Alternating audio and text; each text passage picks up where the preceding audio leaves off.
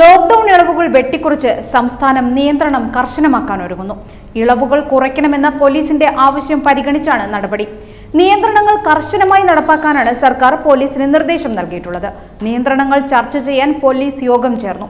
ഏതൊക്കെ ഇളവുകളാണ് വെട്ടിക്കുറയ്ക്കുക എന്നത് സംബന്ധിച്ച് വ്യക്തത വരുന്നതേയുള്ളൂ. ഇന്ന് ചേർന്ന പോലീസ് യോഗത്തിലെ തീരുമാനം സർക്കാരിനെ അറിയിച്ച ശേഷം സർക്കാരായിരിക്കും നിയന്ത്രണങ്ങളെക്കുറിച്ചുള്ള അന്തിമ തീരുമാനം കൈക്കൊള്ളുക. നാളെ മുതൽ പതിനാറ് വരെയാണ് കേരളം ലോക്ഡൌൺ പ്രഖ്യാപിച്ചിരിക്കുന്നത്. നിർമ്മാണ മേഖലയ്ക്ക് അടക്കം ഇളവ് നൽകിയ നടപടി വലിയ രീതിയിൽ ആളുകൾ പുറത്തിറങ്ങുന്നതിന് വഴിവെക്കുമെന്നാണ് പോലീസ് നിരീക്ഷണം. സഹകരണ ബാങ്കിംഗ് ഇൻഷുറൻസ് മേഖലയ്ക്കും പ്രവർത്തിക്കാൻ നിലവിൽ അനുമതിയുണ്ട്. ഇതും കൂടുതൽ ആളുകൾ പുറത്തിറങ്ങാനും ലോക്ഡൌൺ നിയന്ത്രണങ്ങൾ പാളാനും ഇടയാകും. ഈ കാര്യങ്ങളെല്ലാം പോലീസ് സർക്കാരിനെ അറിയിച്ചിട്ടുണ്ട്. ഇതേ തുടർന്നാണ് നിയന്ത്രണങ്ങൾ കർശനമാക്കണമെന്ന് സർക്കാർ പോലീസിന് നിർദ്ദേശം നൽകിയത്. സമ്പൂർണ ലോക്ഡൌൺ ആണ് പ്രഖ്യാപിച്ചതെങ്കിലും ഇന്നലെ ഇറങ്ങിയ ഉത്തരവിലാണ് ഈ അവ്യക്തത ഉള്ളത്. മുമ്പുണ്ടായിരുന്ന ലോക്ഡൌണിൽ നിന്ന് വ്യത്യസ്തമായി കൂടുതൽ ഇളവുകൾ വന്നിട്ടുണ്ട്.